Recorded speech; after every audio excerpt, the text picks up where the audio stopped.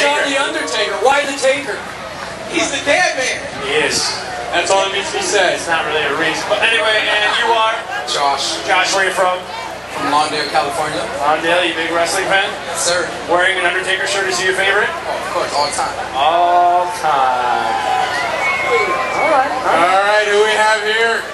Alex from Los Angeles. Alex and favorite superstar? Goldust. Oh, can you believe what just Oh, did you see his impression? He did, he did pretty good. Favorite superstar of all time? Favorite superstar of all time is the Macho Man in the 70s. Yeah! Oh, give us a little sneak preview. A little sneak preview. And Save you are beautiful.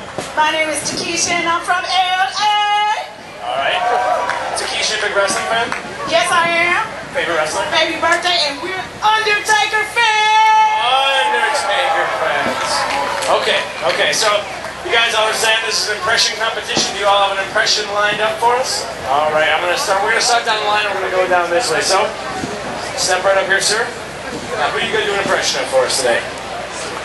Ken Kennedy. All right. So you want me to drop the mic to you? Of do it. Here we go. All right, ladies and gentlemen.